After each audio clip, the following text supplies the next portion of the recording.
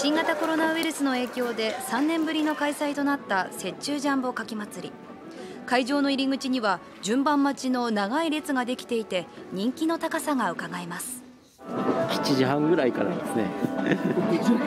あ愛知県です。愛知県です。はい。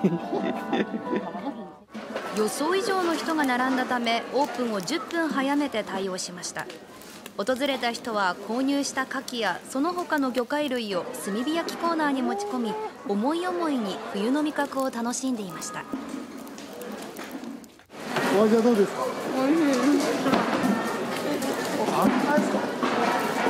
いねいただきます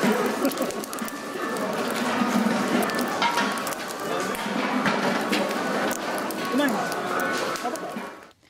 雪中ジャンボかき祭りは明日の穴水町のアスナロ広場で開かれます。